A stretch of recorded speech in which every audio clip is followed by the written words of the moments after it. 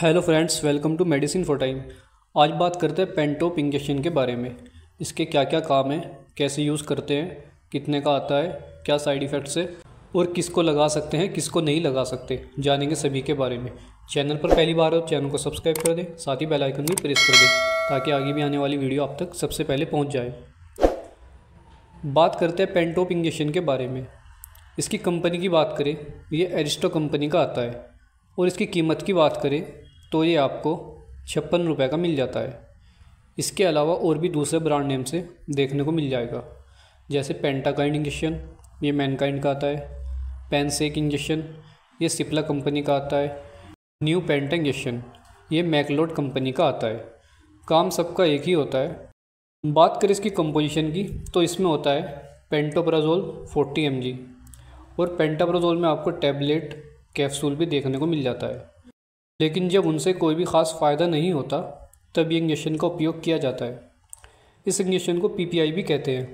PPI means proton pump inhibitors ये injection powder के साथ आता है। इस इंजेक्शन को मिक्स करके लगाना होता है।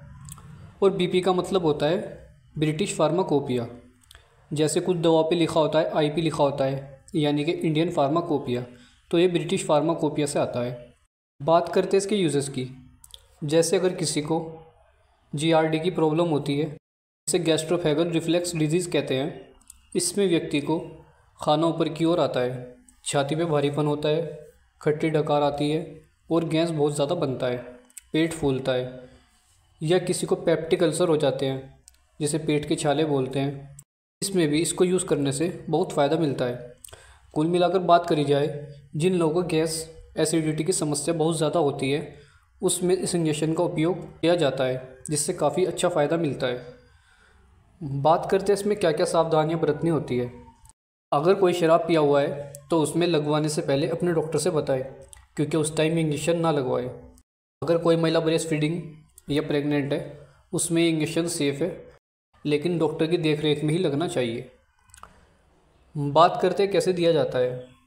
ये इंजेक्शन सिर्फ़ और सिर्फ़ आईवी होता है, यानी कि इंट्रावेनस। सिर्फ़ नस में ही दिया जाता है।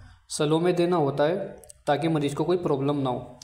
या अगर किसी को ड्रिप चल रही है, जैसे N S R L D N S तो उसमें भी इंजेक्शन डाल सकते हैं, कोई प्रॉब्लम नहीं। बात करते हैं इसके साइड इफ़ेक्ट्स की तो इसको लगने के बाद जी मिचलाना, डायरिया, सर दर्द, पेट दर्द, उल्टी, सर चकराना, जॉइंट पेन, ये कुछ हो सकते हैं। तो ये थी इंजेक्शन के बारे में पूरी जानकारी।